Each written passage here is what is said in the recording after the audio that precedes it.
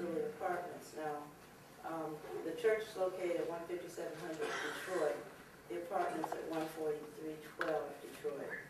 Um, but then the voter got, how they knew about it was that the voter went to Detroit, to the uh, Westerly Apartments, and told them what had happened. So we got the call from the observer, and, um, we had the sign taken down, and they just keep moving on. This happened this morning when everything was jumping. Yeah, yeah, I think the question we had, did anybody notify the the Lakewood police about the posting of this sign? No, I didn't. Uh, Do you think we should do that? If Somebody's trying to misdirect voters, they're interfering with the election process. I think we ought to notify the local authorities so that uh, they can keep their eye out. Okay. Right? Yeah, we have Yeah, we have to minutes. Uh, Anything else? Like I said, most of my calls were from, from the observers, and uh, I know I've heard Jane make comments about Highland Heights, I had also got a call. Um,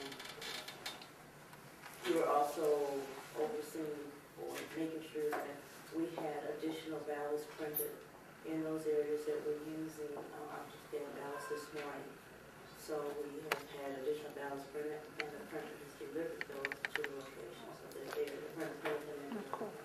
How how many precincts using optical scan ballots? Would you estimate? Uh, approximately twenty, About twenty precincts? as an estimate. And how long were they using them? Do you have any idea? Because I think it varied from precinct to precinct. Um, as soon as, as the units got up and running, they stopped. But then we also wanted to make sure that we had enough, uh, oxygen ballots in the locations for provisional voters. The, uh, that I'm aware of, the, um, the, the one location that we looked into was Alcazar Hotel. I think, I believe that was the latest location that was voting optical scan ballots, um, and they had Do we have a sufficient. problem with Alcazar and Mayville? How about that name just rings a bell? I don't believe we did. And, and I believe the time on that was uh, ten fifty. Other than that, they usually don't have problems. Chairman, Mr. Chair, Jaqui, will we be able to get a count on how many provisional ballots were marked regular ballots because of the use of the optical scan in those twenty locations? I don't know if we're gonna be able to get a count on that, it really depends on how it was handled in the location. Uh, uh, most of the workers were putting ballots in envelope and mark, for example, if they put the ballot in a provisional envelope, a lot of them mark it not provisional or regular ballot.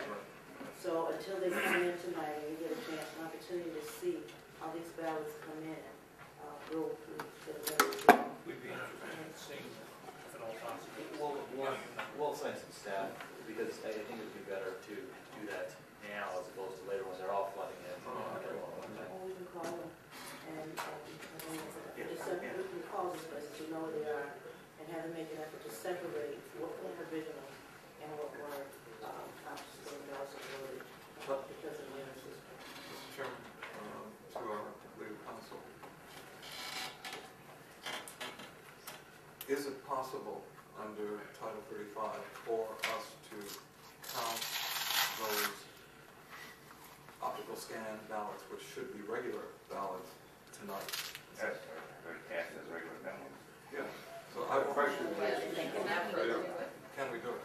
We identify. I gotta ask the, the the technical people, uh, I think the question is, is, is, uh, and I guess I'll go with Mr. Hayes. Mr. Hayes, do we have the ability to count regular optical scan ballots this evening? That are not provisional, I mean, can we reopen the scanning process? Chairman, I don't have the faintest idea.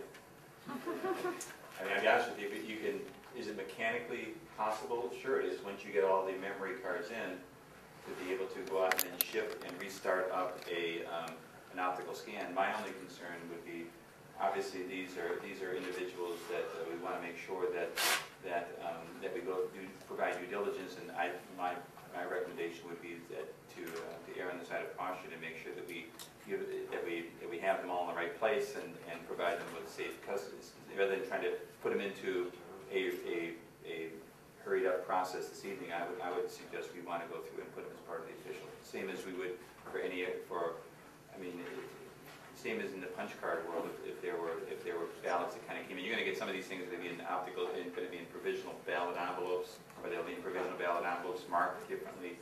So I, I, my, I would just err on the side of caution and want to run them through with all the other scan operations, so you can do the diagnostic testing and the L&A testing and everything else you did on the front end of this last scan today. So that would be my suggestion. Is it mechanically possible to do it?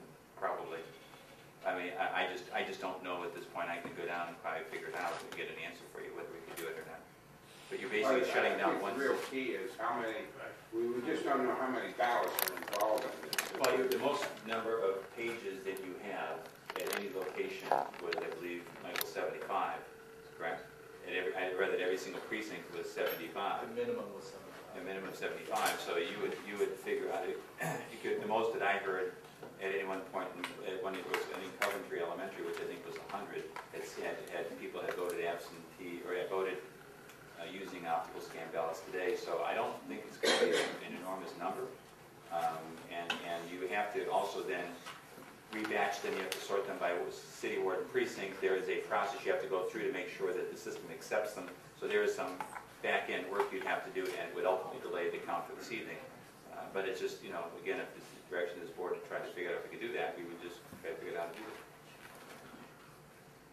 Well, It'd be nice to have an idea of how many are in that category. And, uh, I mean, I I do agree personally with, with Mr. Hayes that if we do it in the, uh, the official canvass makes sense because they are optical scan ballots. But if it it's not a great difficulty, if we can identify how many are out there in that category. And again, we know where they are, because you know, we just pretty much went through and, and and uh, identified the locations that we had to run optical scan until the electronic voting came up. It's just a matter of being able to identify how many there are. And these are approximately 20, affect approximately 20 precincts, am I correct? That's an That's an estimate. estimate. That's what it That's is. an estimate. That's an estimate. It could be higher or lower. Like, I didn't know I was gonna be asked. so, you know. It's not going to be a problem to get the numbers up, am I correct? You'll be able to call the precincts. The ones that we're aware of. The ones that you're aware of.